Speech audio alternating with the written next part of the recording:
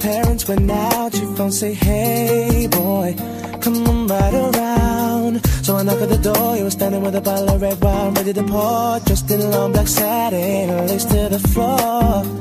So I went in and we sat down, started kissing, caressing, told me about jacuzzi, sounded interesting. So we jumped right in, all calls diverted to answer phone. Please leave a message after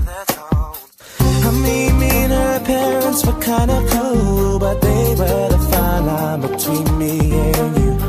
We were just doing things and people in love do. Parents trying to find out what we were up to. Saying, Why were you creeping round late last night? That I see two shadows moving in your bedroom light. Now you're dressed in black. When I left, you were dressed in white. Can you feel me? Calls to answer chance gone. Midnight return, jacuzzi turned on. Can you feel me? Whenever the coast was clear.